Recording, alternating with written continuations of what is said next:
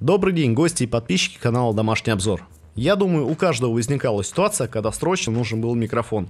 Желательно самый дешевый. На один-два дня, чтобы с ним не жалко было расстаться. Или просто не было денег на хороший микрофон, а покупать задорого дешевый микрофон было жалко.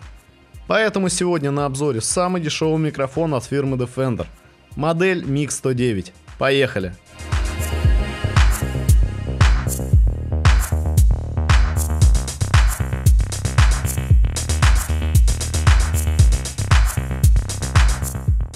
Микрофон упакован достаточно хорошо. Упаковка тоже информативная. Мы видим, что это микрофон для PC с присоединением 3,5 мм джек, с длиной кабеля 1,8 метров, и он не требует установки каких-либо драйверов.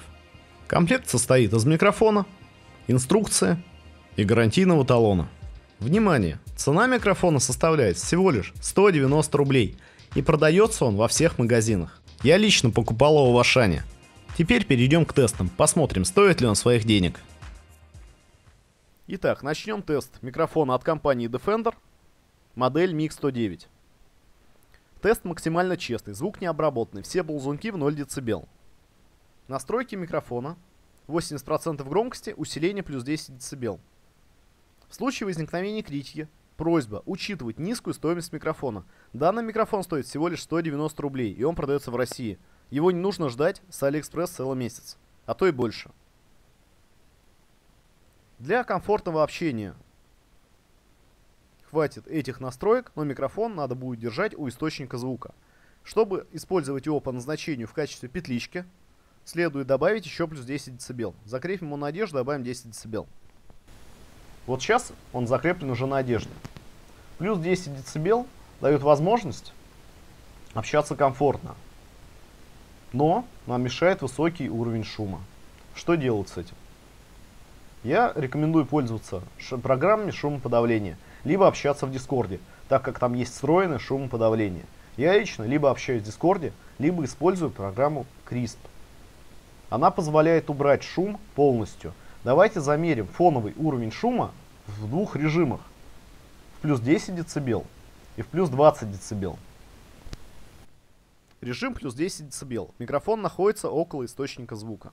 Замеряем фоновый шум. Фоновый шум есть, но он минимальный. Добавляем плюс 10 дБ.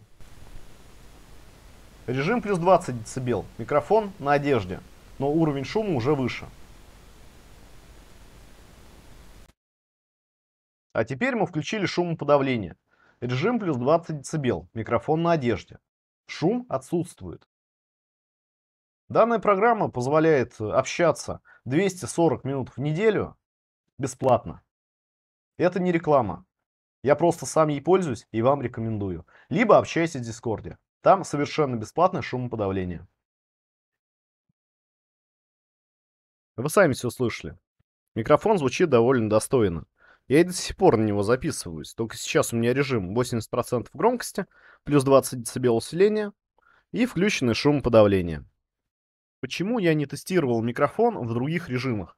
Например, 100% громкости, 60% громкости или плюс 30 дБ усиления. Я просто до этого посмотрел почти все режимы, и в режиме 100% громкости, даже при усилении 0 дБ, очень высокий фоновый шум. А в режиме плюс 20 дБ на 80% шум ниже, намного, чем на 100% в 0 дБ. Если брать э, громкость 60%, то там нету шума, но очень тихий звук.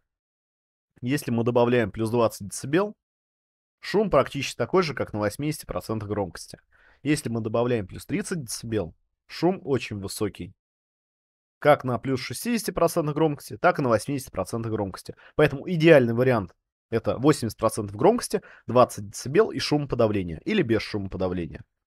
Если микрофон э, держать в руках рядом с источником звука, то 80% громкости и плюс 10 дБ усиления. Обзор получился достаточно коротким, но я думаю уже все понятно. Поэтому подведем итоги.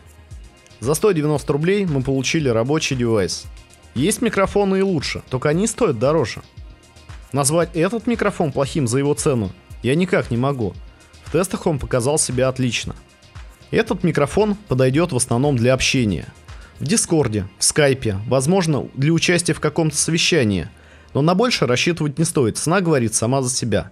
Но при должных навыках и умениях обработки звука, с помощью этого микрофона можно даже озвучить видео. Но делать этого не стоит. Лучше купить более профессиональный и хороший микрофон. Для этого можете посмотреть мой прошлый обзор на микрофон Hyper. С ним можно даже постримить. И вообще, кто пойдет спонтанно покупать э, микрофон за 200 рублей для проведения стримов? Бред какой-то, да? А вот когда друг срочно зовет поиграть, а у тебя микрофон сломался, и тебе срочно надо купить какой-нибудь микрофон, причем неважно какой, лучше взять вот этот. Он того стоит. Ребята из Defender даже гарантийный талон положили. Это, я думаю, показатель уровня.